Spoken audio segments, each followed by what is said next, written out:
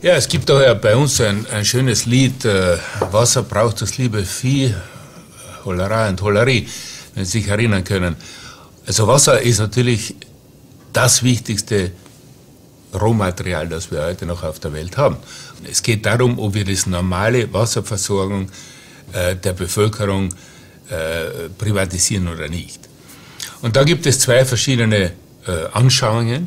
Die eine Anschauung, extrem würde ich sagen, wird von einigen von den äh, NGOs vertreten, äh, die darauf pochen, dass Wasser zu einem äh, ähm, öffentlichen Recht erklärt wird.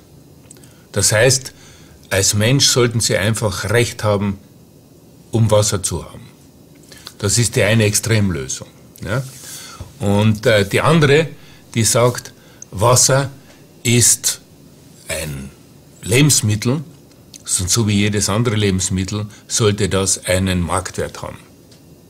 Ich persönlich glaube, es ist besser, äh, man gibt einem Lebensmittel einen Wert, sodass wir alle bewusst sind, dass, dass das etwas kostet und dann anschließend äh, versucht, dass man mehr spezifisch für diesen Teil der Bevölkerung, der keinen Zugang zu diesem Wasser hat, dass man dann dort etwas spezifischer eingreift und da gibt es ja verschiedene Möglichkeiten. Also.